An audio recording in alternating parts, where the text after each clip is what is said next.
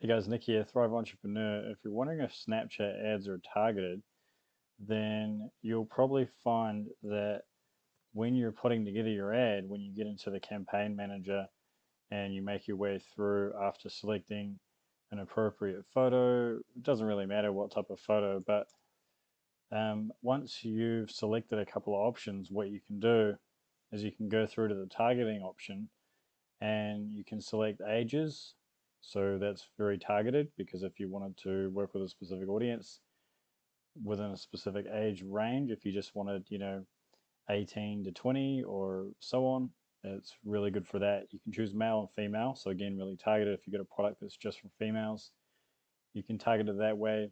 You can target the language and location. So it's very targeted. Um, not quite as targeted as Facebook at this point, but I'm shooting this video in 2021 in March. So you can tell that, say, if you live in New Zealand, you can target that country. So if you've got a product that only ships to specific countries, and that's going to help you. Um, you can set your budget.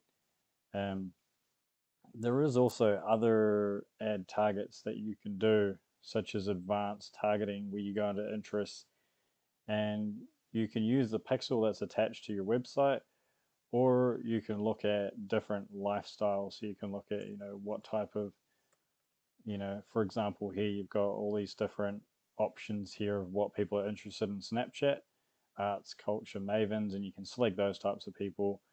Or if you're in a different category, you know, this is lifestyle, you could go to foodies, people who are interested in pizza or so on.